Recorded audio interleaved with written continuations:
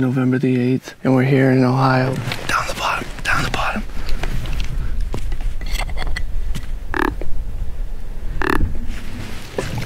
He's coming.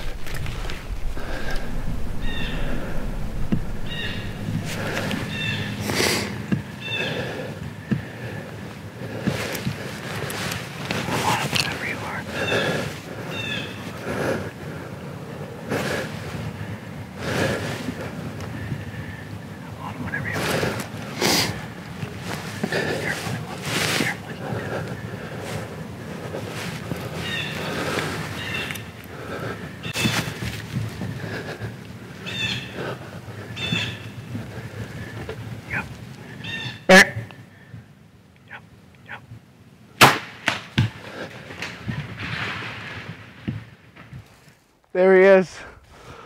I couldn't be happier. He's a great deer.